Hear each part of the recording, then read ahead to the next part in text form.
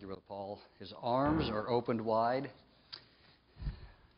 and walk through mercy's door. Isn't that a great thought? And there you'll find the grace of God. Thank God for His grace. If you've ever been hurting, in need, just navigating life, man, how we need God's grace. Well, we're so glad each of you here today. God bless you for being in the Lord's house today, for our church family. It's always good to have us here together. And for the many guests that are with us today, God bless you for being here this morning. We're really honored to have you with us. I trust I'll have a chance to meet you. I've tried to get around most of the church and meet the folks who are here for the first time or second time. We're always very grateful to have people at Eastland Baptist Church for the very first time. This is a neat place, a pretty special place. Uh, we're not a perfect group of people, but we're a happy group of people. And uh, God's been good this year. We're always grateful for God to extend and enlarge our church family and to have folks visit us for the very first time. And we're glad to have each of you here. Last week was kind of a new beginning for us in terms of the year. That was just the first of the calendar year, but we unveil each year a new theme, an area of focus uh, that we want to work on as a church family. And last week, we unveiled a, a theme with a singular word, and that was the word together. Just working at being together as a church family. God has blessed Eastland Baptist Church, and we've been able to grow. New people have been added to the church. And as we've grown larger, we want to also grow smaller by relationships within the church. And I'm encouraging you to get to know each other in a greater way, to spend time with each other. Uh, for those of you who don't sit, sit on this side of the auditorium, to sit on that side and meet the people there. Now, that only works if not everybody moves because then it's just the same group of people on the outside of the auditorium, and that's kind of what happened. And last week, I'm not sure who I was talking to, somebody who who's over here. I, I believe it was Brother Science who said, Now, here's what's going to happen everyone's going to move, and so another group of people are going to come over on my side, so I'll meet new people. The problem was is everyone in his section had that same idea. And so they just sit there and greet each other. But the idea of together is an important word in the Bible. We find it over 500 times. God's plan and design for His people are to be knit together. Relationship, community, these are very important things. And I want to talk to you about that thought again this morning. If you'd stand with me to the book of Proverbs and look at me in chapter 27. Proverbs chapter 27. A topical thought today. In time, we'll get into another expository study, but for right now, some topical thoughts on the idea of togetherness and this morning, and probably again tonight, I want to talk to you about being together as friends. Just being together as friends. Most of you would know this particular verse, and I trust it'll be a help to us today as we reflect on it and ask God to use it in our life. But in verse number 17 of chapter 27, the Bible says, Iron sharpeneth iron. If you've ever had a knife, you know about swords, that you use metal to sharpen metal. That the friction, the association between those two things will make each other sharper. If you want to sharpen a blade, you've got to use something sharp to do it with, something that will grate against it, be in close, intimate contact with it. The Bible says, Iron sharpeneth iron. And the word is so here, or likewise. A man sharpeneth the countenance. In the Hebrew, it literally means the word face, meaning the person. It says, So a man sharpeneth, makes better, more useful, the countenance of his friend. Of his friend. Our Heavenly Father, thank you so much for the friendships that we enjoy here at Eastland Baptist Church. And Lord, I pray they could grow stronger and, uh, Lord, more, more beneficial. Lord, just as iron sharpens another piece of iron, Lord, I pray that our interaction with each other as friends would make us better because of that interaction. And we ask it in Jesus' precious name. Amen. Thank you so much for standing this morning. Thank you for honoring God that way. And you may be seated.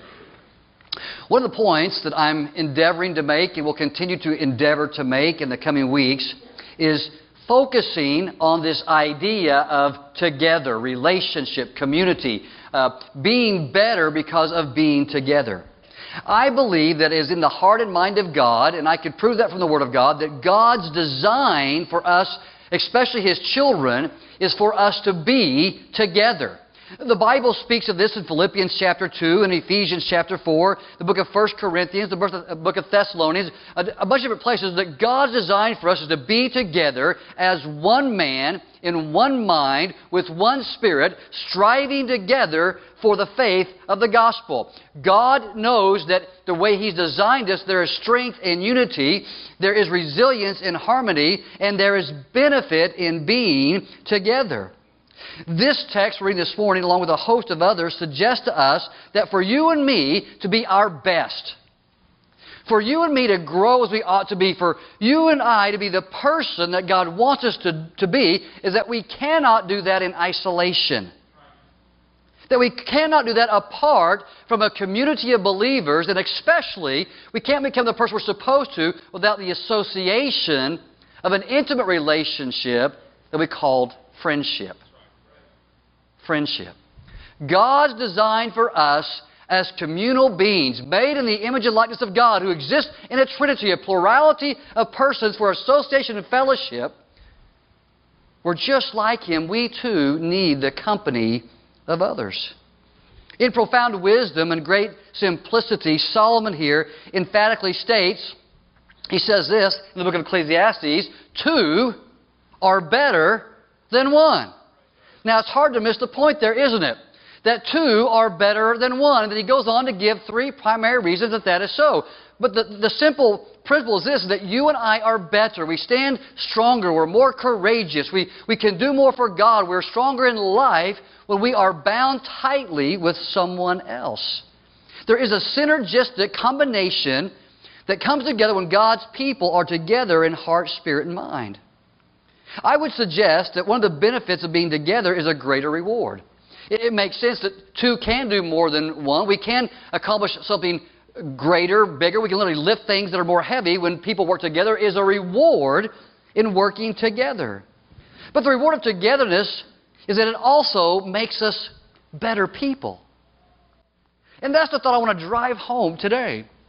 The text in Proverbs 27 makes that emphatically clear. If you take a piece of iron and you rub it with another piece of iron, it sharpens it. Well, what's that mean? It's more useful. A sharpened knife, a sharpened sword uh, accomplishes its mission better. It's, it's what it's supposed to be a sharp knife, a sharp sword. It cuts better, it's more effective, it's, it's what it's intended to be. A dull sword, a dull knife, does not navigate its purpose very well. Does that make sense? If that is so, and the Bible uses the word so, or in like manner, in order for you and I to be everything that we're supposed to be, we need the sharpening, the improvement, the, the help that comes in having another close association called friendship. Without community, without relationship, without friendship, without meeting together, we become impoverished in some way. We're poorer for it than God intended for us to be. I've said this several times already, but I want us to focus on again today that the theme of together is not because I looked out at Eastland Baptist Church and saw some schism or some problem that somehow we're not together, but rather we're focused on together because of its potential for good. That to the degree that we come together, that to the degree that we associate together, to the degree that we sharpen one another properly, that there's more possibility, there's more potential. It, it improves all of us in being together. Two are better than one. As we consider this text this morning from the book of Proverbs, chapter 27, verse 17, uh, iron sharpeneth iron, so a man sharpeneth the face of the countenance of his friend. We see that truth again. I want to focus on it. Friendship with a person who loves the Lord, friendship with a godly person, friendship who is with someone who is striving down the same path that you are, will make you a more useful better person for others and to God. It is God's design in great measure. And I want you to think about this to use other people to improve our lives. God the Father speaks to us. He works in our lives in an, amazing way. He sends the Holy Spirit, and the Holy Spirit intercedes and works and as the Paraclete comes alongside us and, and helps us make the right decisions. Jesus Christ is an ever present help in our time of need. We, we have the Word of God that we can read and be improved by. We can get on our knees and pray to the Heavenly Father, but God, with these means of grace and others, He still wants to use people. to improve us. Some inspire us, some encourage us, some lead us, some teach us. From some, we may learn from their negative example of, of what not to do. But God wants us to learn from people. A preacher standing in the pulpit is not there for position or place, he's there to help God's people. The teacher who stands in the classroom, he's a person, and he's not there for position or place, but he's there to help God's people. A mom and dad are there to help their children. Children are supposed to help their mom and dads. And friends in the church are supposed to help each other. God uses people to sharpen His people. As iron sharpeneth iron. God wants our, our activity, our interaction together to be positive, right, and good. And I'll speak to this at some length tonight. But He wants us to make each other better people, sharper, for being associated together. And, and today, I, I, this is a simple sermon with some very simple thoughts. I want to suggest to you first this morning that friendship, friendship is important. I want you just to think about that with me for a moment. Friendship is important. It's important for the obvious reason that I just read, but friendship is important. Somehow, I think in Western culture especially, that because we emphasize individualism so much, I can do it, just pull yourself up by your bootstraps and get this done, and we have this pioneering spirit, and, and that's not a, a negative thing, but somehow I think in having that so much a part of who we are, we forget that we still really need other people around us. We still need friendship. We still need relationship. I think we believe some, for some reason that friendship is uh, maybe optional. I don't have time for that right now. I don't have time to invest in you. I don't have time to give myself to, this, to these people. And, and I think we have this idea I can, I can make it alone. And maybe you can. But the question is, how are you making it? How are you making it? The fact is, you and I can navigate life to some degree with some diminished quality without friendships, relationships, but we could do it a lot better if we'd invest in other people and allow them to invest in us. Jesus, who is to be our example in every area of life, highly valued friendship. Matter of fact, he made it a virtue. One of the most endearing qualities about Jesus is that people looked at him. And in two different places in Scriptures, outside observers looked at Christ and said this about him. Well, that guy, and they meant this negative, but it wasn't negative. He was a friend of publicans and sinners. Who was Jesus? What did he do? Well, he did miracles. Well, who is Jesus? What did he do? Well, he's God. He, he is deity. Uh, who was Jesus? What did he do? Well, man, he did all these amazing things. But who is Jesus? If you take this statement and you simplify it to its elementary level, here's what it said about Jesus Jesus was a friend. We focus on the object of his friendship, Oh, he was a friend of sinners and publicans, but you can stop short of that and still have a great truth there. Look here. Jesus, for all that he was and all that he did, Jesus was a friend. He was on the most epic mission of mankind, the salvation of the world. I've got big, important things to do. I've got to go from point A to point B. I don't have time for a, for a lot of stuff. That's our attitude. Here's the Savior of the world. And what was noted about him? He was a friend. He had time for people. He saw it as important. Jesus was on a trip, and the message came to him that a man named Lazarus has died. And Jesus looked at his disciples. He says, Our friend has died. Our friend has died.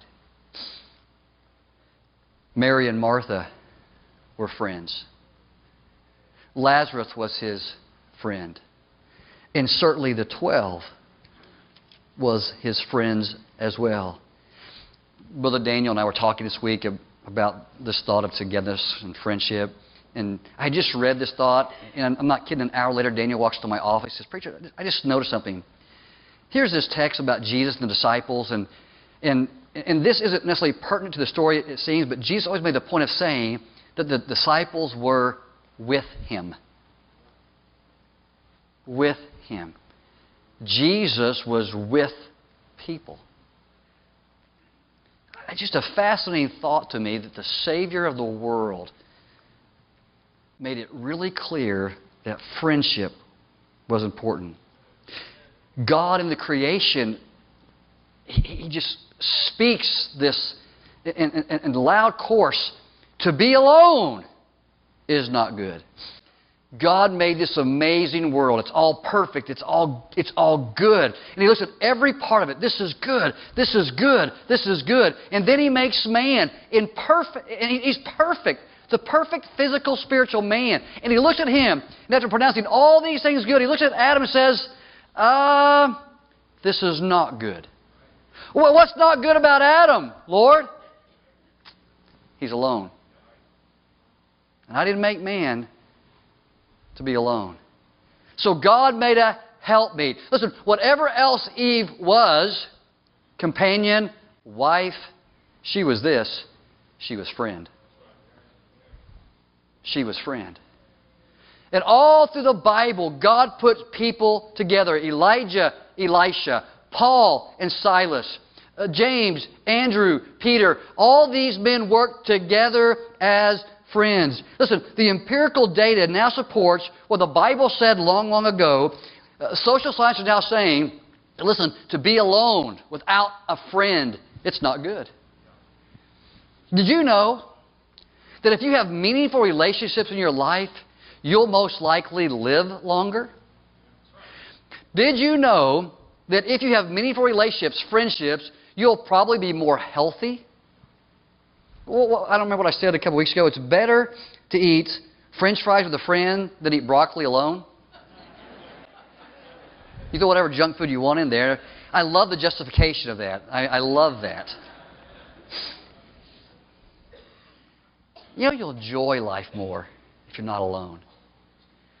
My wife will see a sunset. Here's what she does. You know, she, she appreciates the beauty of it. And here's what we all do. Hey, Troy, come look at this. There's just something enriching about looking at it together. Let's go for a drive, but you don't want to go for a drive alone. You want to go with somebody. Built that way. It's important. It's, it's part of who we are. You'll be happier in a relationship. You'll be less prone to addiction, depression, and antisocial uh, behavior if you develop friendships. But here's the thing the opposite is also true. You don't allow God to use you to invest in other people and let them invest in you, and you're without friendships, and you're liable to live less long, to be less happy. You'll not enjoy life as much. We experience loneliness. Listen, friendship is important because it makes us better, sharpens us. There's another truth I want you to see this morning is this is though that's true, real friendship is something that few of us enjoy. Real friendship. I'm talking about the word friend in the Bible means close association. Um, there's a friend, the Bible says, that sticketh closer than a brother.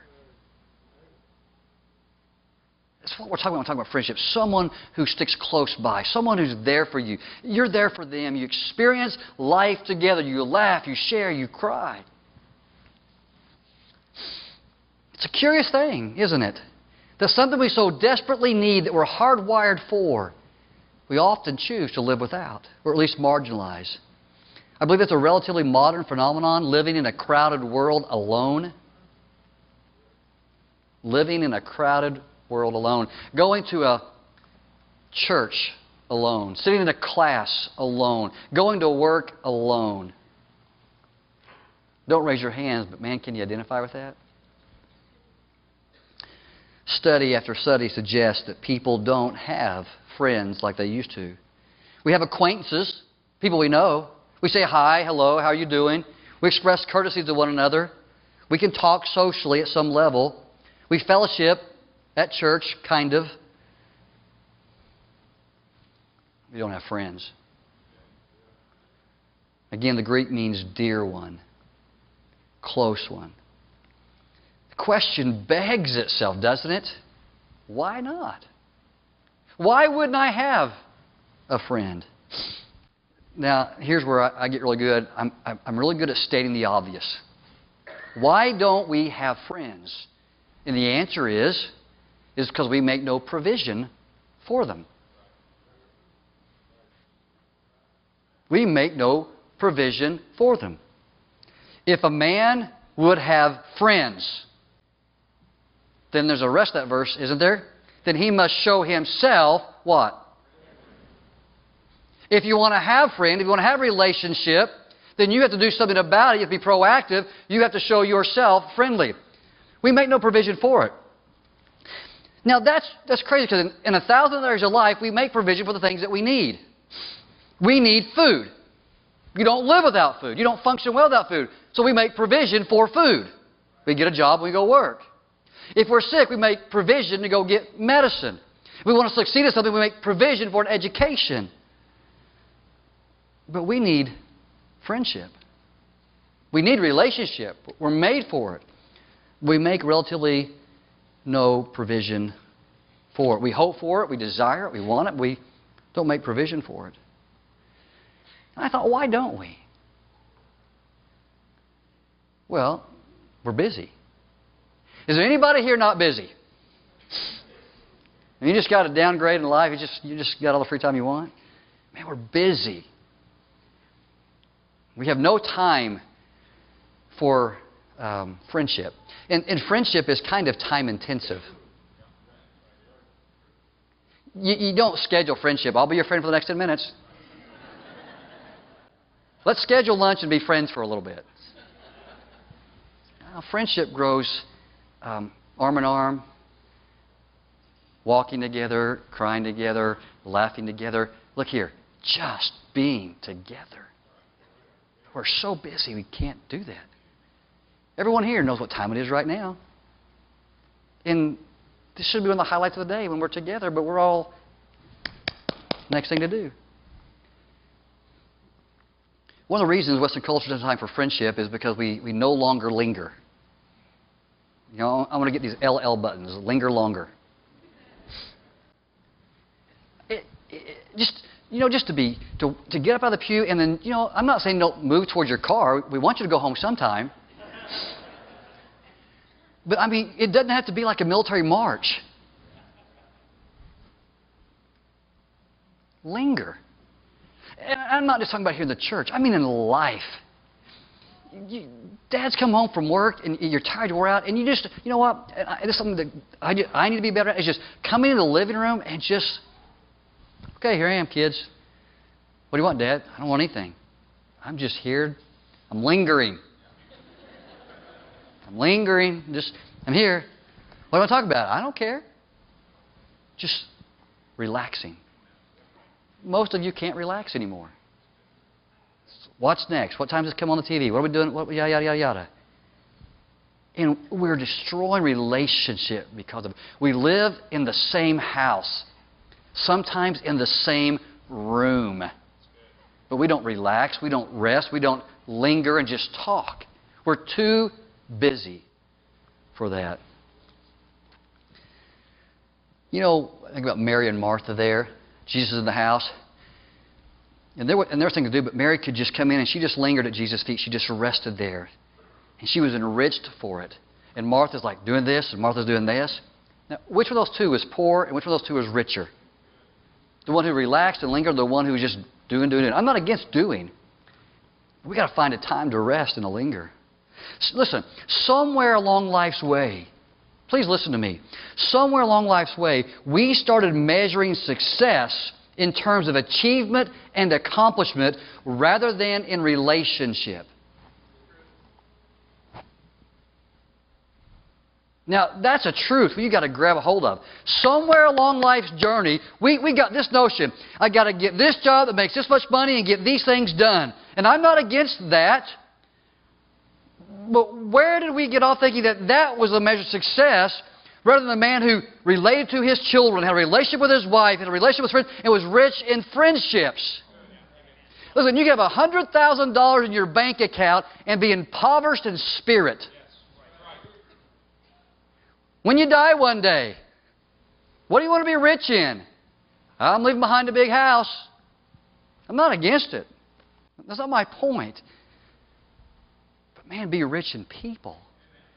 Friend, you know, you, you come, uh, you come to church and you serve. That's great. Thank you. We need your help. But don't just come and serve, come and relate to people. Be anxious to come and, and greet friendships, people, not just production, not just accomplishment, not just achievement.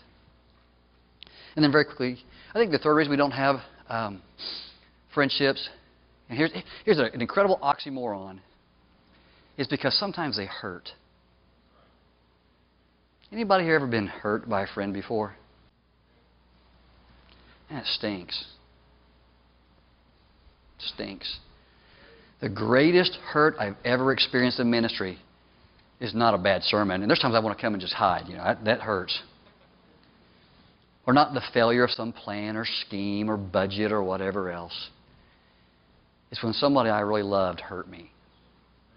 Or I knew I hurt them. And you know, we get we get gun shy.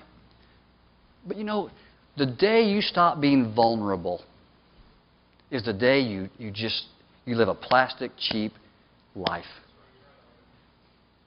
Loving people's risky business, but it's better than not loving. It's better to love and be hurt than not to know what love's about, not to know what friendship is about. We are sinful creatures who hurt one another, but I'm telling you, it's still worth the risk. We need uh, to overcome these things. And number three, and I'll be finished. This is the point of the sermon. Friendship, togetherness, building community, especially in the church, is something that we need to give attention to. Friendship is something that we can improve on as a church, as an individual, as a person, in your home, at work. Friendship is something that you and I need to give greater attention to. In the friendship that we build, we'll be sharper for it. Someone else will be sharper for it. We'll be better for it, stronger for it. We'll, we'll learn more from someone else. Again, we'll talk about some of these things tonight. And if that is true, then there is something that is something that is worthy of our deliberate time, attention, and effort. As Christians, you and I give deliberate effort to a great number of things. For some of you, you give great attention to holiness, eschewing evil, living right. That's a great thing to give attention to. You give great attention to Bible reading, and God bless you, it'll change your life. You give great attention to prayer. You give a, a great attention to a number, a number of, of Christian virtues. But remember, Jesus was a friend. And if you want to be a true child of God, maybe you should give some attention to relationships as well. Helping someone and letting them help you. I, I posed this question to myself um, this week. Now, I want you to really bear down and think about this with me. I was reading a book, and this question was actually posed there. It went like this If I was to die, Troy was to die today, you lay me in the grave there, how many people there would be more than just observers and participants, and how many people there would be active mourners, deeply hurt? Now, all of you might well, a lot of you wouldn't cry, but some of you might cry. But it, yeah, that's just we're caught in emotion. I'm talking about how many people. I'm not talking about my family. How many people would be active mourners? Because that's probably your friends. The happy few, whatever you want to call it. Let me ask you this question. Maybe, it's easier if you reverse it. How many, what person, if they died, would, would you go to their funeral, not out of courtesy, not because you're in the same church, not because you have some affection for them, but whose funeral would you be an active, engaged mourner in?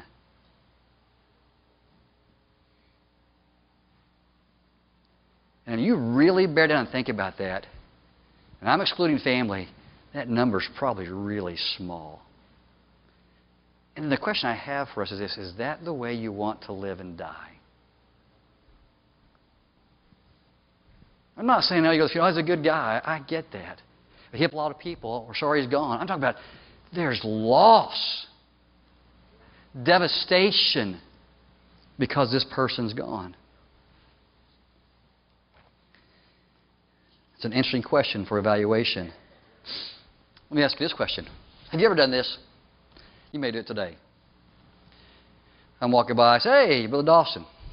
Good to see you today. Yes, good to see you too, Pastor. We need to get together sometime. Yeah, we sure do. Let's do lunch sometime. Yeah, let's do lunch sometime. Have a great day. Have a great day. And then the lunch never comes. Anybody ever done that? Man, I need to have you over sometime. We sure do. We'd enjoy that. Good to see you. Boy, we need to get together. oh, Lord, help me. And we never do it. Now, I can say this. Brother Bill and I had lunch last week together, and we even invited Brother Stiles. Actually, he invited me. All the Brother Stiles is good once a month or so. He invites me to lunch. I don't know why, but he does. It's because you buy, brother. That's why. now, here's the question. Why do we say that? Well, we know we need to. It's important. But the thing is, we don't do it. I'm not getting on you for saying it. I'm simply suggesting that maybe when you said that person, maybe you get together sometime, that maybe in their heart they're going, man, I'd really enjoy that. I'd enjoy that fellowship. I'm really lonely. That'd be a great thing to do. And then you don't do it. And it's almost become, well, I really don't expect that person to follow through. I just think we live there sometimes. So, what do we do? How do we overcome busyness and hurt and TV time? Well, I've already said, I think we just need to slow down a little bit, make time for relationship, linger longer. We'll make this a joke before long, but it's okay. It's something that we need to do. And I'm not implying to stay in the four year here forever. I'm saying go home and enjoy your kids. I'm saying go home and just relax at lunch. Stop looking at the clock. I'm saying this eliminate enough in your schedule so that you can relax to build friendship. Our lives are so scheduled, so driven, so defined by work and goals, achievement, production. And these aren't bad things, but those are not conducive elements to friendship. Friendship takes time, it's hard to schedule. Hurried, flurried people aren't good friends. And number two, how about this? This is profound. Learn to just enjoy people. Learn, look up here at me a second. Learn to just enjoy people. Don't judge them. Don't be critical. Stop evaluating them. Don't look at them as objects to be fixed. Just enjoy them. He's quirky. Okay, enjoy his quirkiness. He's a weirdo. It's okay, you are too.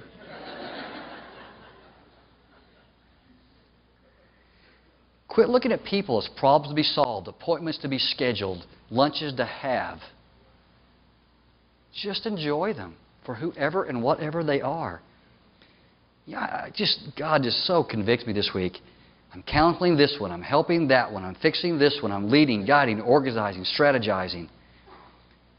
You know what I'd like to do? Is just talk.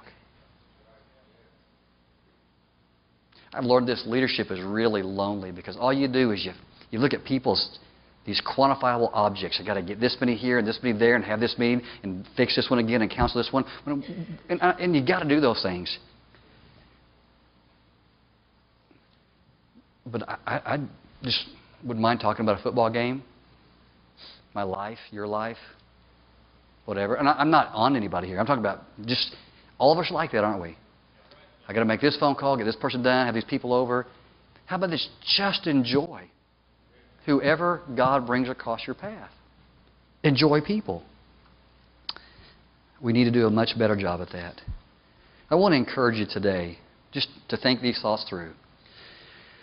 Friendship is important. It's worthy of your time.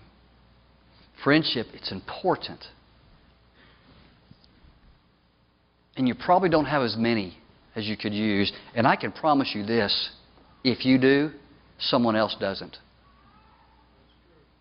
Maybe you got all that you need, and if you do, God bless you. But Joe, Susie, Bob, Mary over here, maybe not. And maybe you reaching out to them just might be part of saving their life, or at least this improving the quality of their life. And then let's do this. Let's do this. Let's get together sometime. And then do it. Jesus was a friend. He had time for people.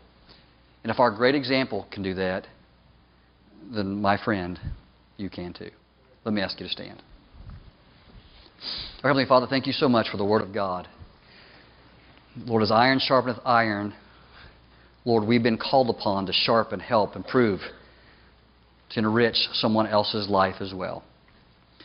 Lord, I pray you'd help me to be a better friend. Lord, I pray you'd enlarge my circle of friendships and relationships. And Lord, for everyone here, I pray you do the same for them. Lord, I pray you'd make people rich. Lord, not just monetarily, but Lord, relationally as well. Lord, if we're together as a church family, we're going to sharpen one another. We're going to be better for it. And so, Lord, we ask for your help in Jesus' precious name. Amen. We're going to sing a verse of invitation this morning. I'm not sure how to help you make the application there, but I, would say this. Maybe you want to come and say, Lord, I, am going to work at friendships. I'm going to work at relationships. Lord, I'm going to make part of my Christian life building connections with people better. That'd be a great reason to come. Just tell Lord, I, I'm going to work on that. I'm going to improve in that area of my life. You may be saying, I, am set in that area. Well, maybe somebody else is not. Maybe you just need to come and say, I'm going to be a friend to whoever needs it. I know some people here have been busy for some time. Um, you might want to come for membership today. Being part of a band of brothers isn't a bad thing, and a church is a great place to start. We'd love to have you. Maybe you don't know Jesus Christ as Lord and Savior. You don't know that friend that sticks closer than a brother. Do we have men and ladies here who'd like to lead you to Christ and show you how to be saved today? Whatever the need may be, maybe totally unrelated. But if you need to spend time with the Lord this morning, then you come as we sing. Brother Jesse. What a friend we have in Jesus